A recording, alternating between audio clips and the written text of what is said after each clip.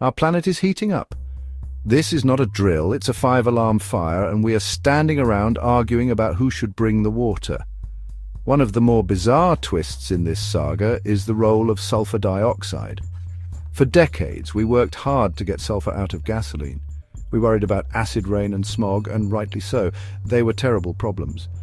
But there was a side effect we didn't fully grasp. Before 1975, gasoline contained a lot of sulfur. When cars burned this gasoline, they released sulfur dioxide into the atmosphere. This sulfur dioxide had a curious effect. It acted like tiny mirrors, reflecting sunlight back into space. This helped to cool the planet, offsetting some of the warming caused by greenhouse gases.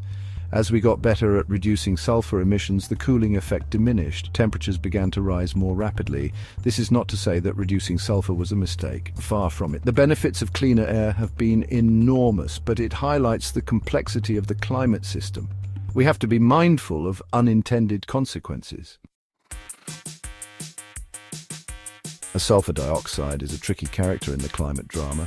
It plays a dual role, acting as both villain and reluctant hero. On the one hand, it's a major component of acid rain.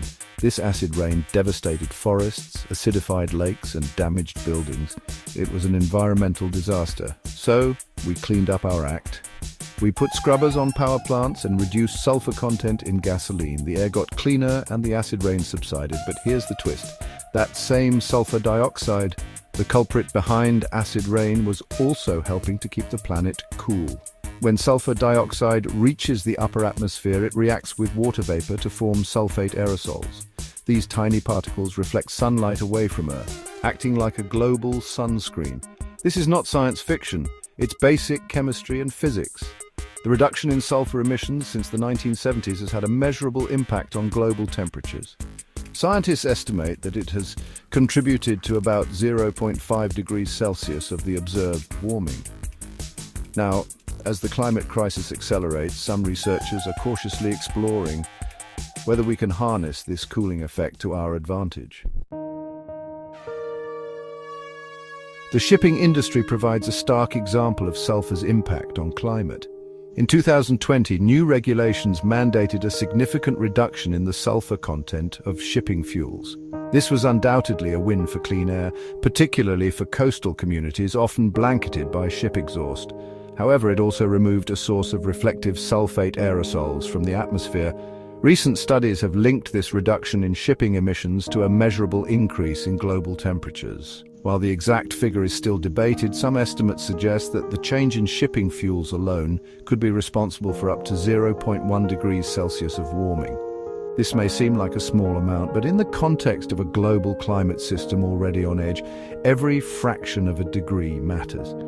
The shipping fuel example highlights the delicate balance we face. Reducing pollution from one sector can have unintended consequences in another. It underscores the need for a holistic approach to climate change mitigation, one that considers all the variables at play.